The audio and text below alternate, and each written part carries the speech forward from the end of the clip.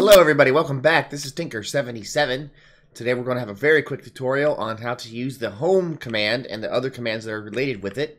I just learned how to use this and I thought it was very useful, so I thought I would share it. So, the home command, what does it do? Well, it teleports you back to wherever you set your home. So let's say we, you see these two little uh, violets here. We're going to set this right here. This will be our home, right where I'm standing. You type set home. Okay, and home is now set. So now if we walk away, and you go over here, let's say we're over here, you can see they're over there. If you type slash home, it takes you right to where you were. Okay, set home and home. That's pretty easy, right? Now, let's say you want to have another point. Let's go over here by this chance cube. I'm going to stand right here, and I'm going to type set home. I'm going to, then you put a name, something you want to call it. Chance.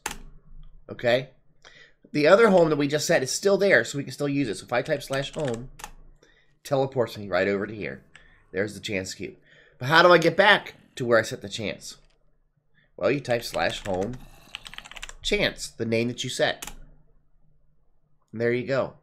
If you want to see a list of the homes that you have, you can type slash home list, and it will show you. I've got two. I've got chance and I have home, which means that I could have typed slash home home and brought me there as well.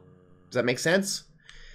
Okay, now there's one more. Let's say you don't want the chance uh, in there, the chance home set right there. So what you do is you type del home for delete home and the name, chance. Right? And it should be gone. So let's go look. You take home list, and it only has our main home. So there's three things, home, set home, and del home, can let you set up to, it looks like, a 100 different places or points. Oh, hello, buddy. You're burning. Anyway, let's see set up up, up to 100 different points where you can uh, teleport to, which is really nice because if I go way over here, you know, I'm over this mountain, you know, and I want to get back to home, I just type slash home. And we're back. Bye-bye.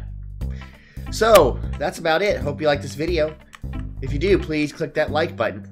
If you have any comments, please put them in the comment section. If you'd like to be notified of videos that I produce, please subscribe to this channel. And that's about it. Thanks. Have a great day. Bye bye.